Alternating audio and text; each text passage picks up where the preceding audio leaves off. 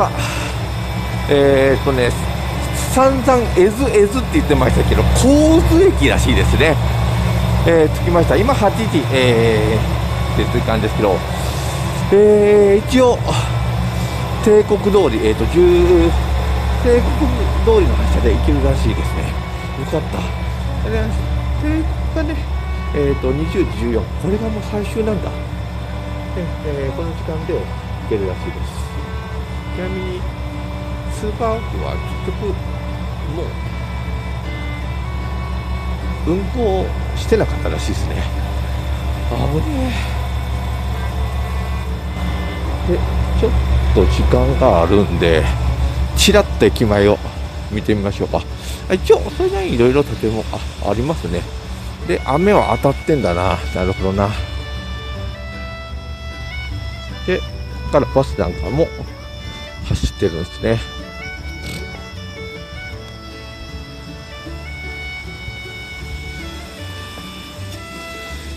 でまあえー、ここはどこ？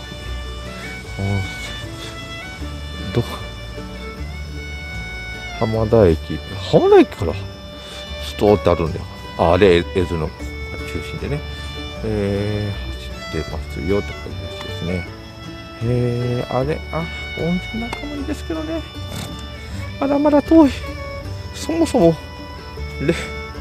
冷静に考えてみたら18時25分発で出雲に着くのが20 21時50 50何分ですもんね。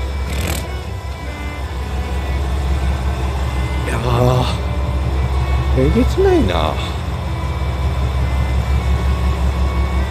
でしかもこれでまだ出雲市ですからねそこでですからなんとか夜中までは行かないといけないからねここら辺でね、一泊してきたいところですけど、観光温泉なんで、だいぶね、お値段がね、しんどいことになってますんでね。はあ、で、もう窓口もね、閉まってます。と、通停車駅なんでね、反対側はそっか、まだとか、松田方面ああ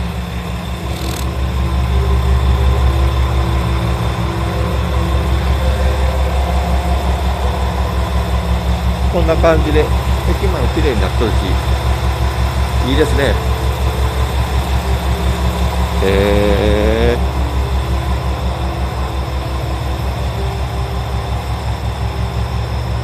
これ自体の五線橋なんかも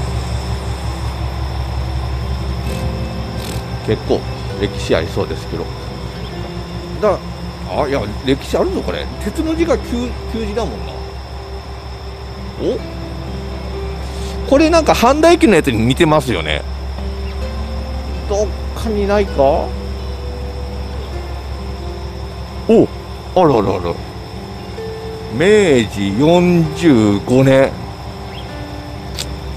だからやっぱ半田駅のとまあ、半田駅の方のが20年ぐらい先に作られてますがこれも明治45年だったら、えーと、100年は超えてるでしょ。いやーすげえな。ちょうど100年ぐらいか。へえありますねやっぱこういうのがね。産表がないんでちょっと詳細は分かりませんけど。一応そういう、まあここに書いてあるってことはそうでしょう。へえ。すごいな。渡って帰ってくる時間ぐらいありそうやな。ちょっと渡るかへえ。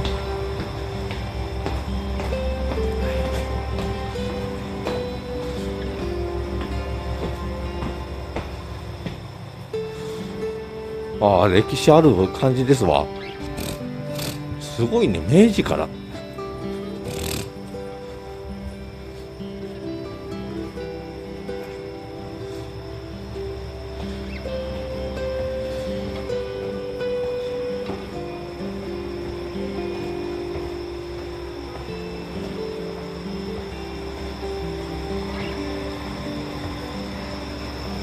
かった。あこっちの方も相当。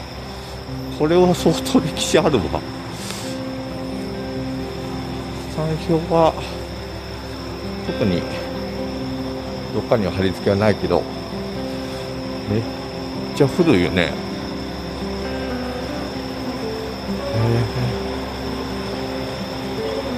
すごい。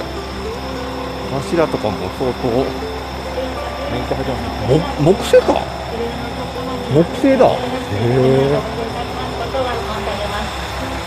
年季入ってます木木製か木製だへえあしかも構図じゃなくて豪図なんや。へえこれまあ10分ぐらい時間があるんで。こんなところ来ても大丈夫ですね。こっから先はちょっと新しいのかな。あそうでもないかな。すごいですね。へえなんか歴史感じるわ。この辺りとかね。なんかをつけてたんでしょうね。操作盤かなんかを。へえすごい。よし。戻ったのかな。資産表は JR は基本貼ってるんですけどそう。西日本はちょっと東海ほど分かりやすいところに貼ってないですからね。うんないな。まあいいや、まあ、明治45年ってことで間違いないでしょ。へえ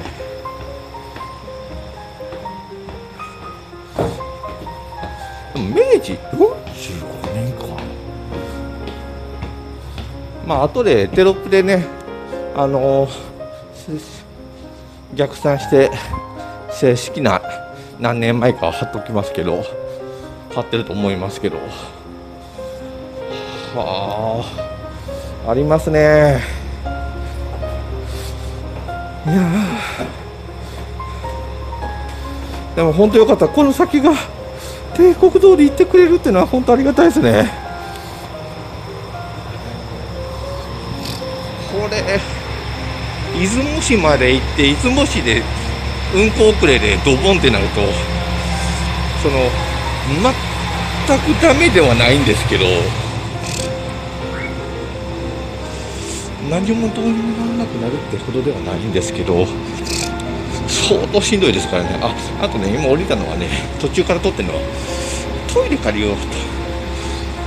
ここのトイレ使える使ったらいいやと思ってここに陣取ってましたけど今トイレ閉鎖されてるみたいなんですよなもんでちょうどあここ時間も長いし。トイレ借りようって言って。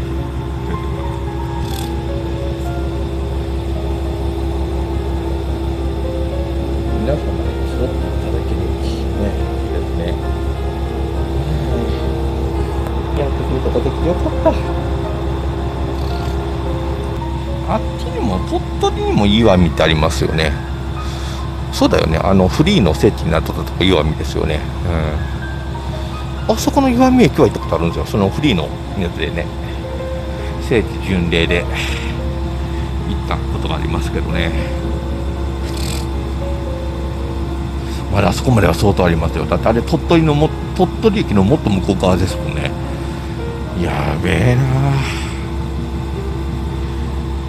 とりあえずあと1時間50分。1時間40分。はあまあちょっともう暗くて映像も撮れないんで。ちなみにあの浜田駅か。あそこでなんか長時間、えー、待っとったの。はあれは本来は特急を行かせるためなんでしょうね。ところがもう特急が運休になってるんでただあそこへずっと待ってるだけになっとったって感じみたいですね。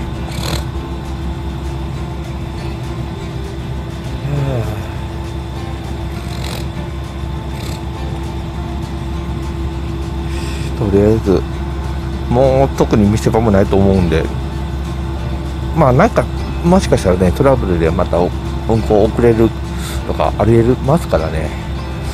雨言うてまだ降ってますからね。えー、まあまた何かあったら回します。何事もなければ出雲市までこの映像は飛んでると思います。